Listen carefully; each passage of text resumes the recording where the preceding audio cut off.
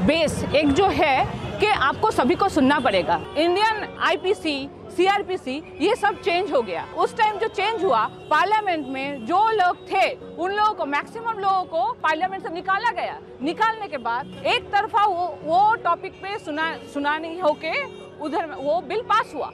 तो अभी वो बिल पास होके वो कानून में आ रहा है। Is this the constitution this is not our constitution Rahul ji के लिए आज का डेट में उनको सामने सामने सुनने के बाद उनके लिए एक अलग ही जो फेथ है, अलग ही विश्वास आ रहा है। डरो मत, सहो मत, न्याय का हक मिलने तक। मेरा सबसे बड़ा आइडेंटिटी ये है कि मैं भारत वर्ष का नागरिक हूँ। राहुल गांधी को लेके टोटल जो इंडिया है उसका जनगण जो है, उत्सुक है कि कांग्रेस का बड़ा कोई नेता आए, कि हम लोग उद्बुद्ध हो सके। आज के डेट में नेता कैसा होना चाहिए, वो राहुल जी को देख के पता चलता है। मेरा अभी भी गुजबाम रहा है उसको सामने से देख के। बहुत कुछ साथ लेके जा रहा हूँ और काफ़ी एक्सपेक्टेशन बढ़ रहा है कि आगे देश में बदलाव आएगा। अभी का जो सरकार है, वो बोलने वाला सरकार है, झूठ बोलने वाला सरकार है, जुमले देने वाला सरकार है, सपने दिखाने वाला सरकार है, लेकिन ये सरकार जो है जन विरोधी सरकार है। नया भारत को जागना पड़ेगा, उसका शुरू हो रहा है। डरो मत, सहो मत। न्याय का हक मिलने तक। महिला, युवा,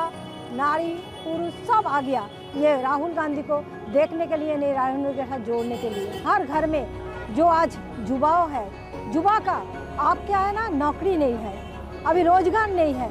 तो आज राहुल गांधी निकले हैं ये युवा का न्याय के लिए। आज महिला कितना अत्याचार हो रहा है। इंडिया में जो धर्मों लेके चल रहा है, ये धर्म तो हम लोगों का खा जाएगा, लेकिन पेट तो नहीं भरेगा। डरो मत, सहो मत। न्याय का हक मिलने तक The atrocities that we are facing in and around our society is fighting for that. Is taking an initiative to come before the people, giving an opportunity for a common man to speak his grievances towards him so that he can work for the better India tomorrow. That is the reason it is called the historic moment. He is not only covering a small section of the area of India, but he is covering whole of the India.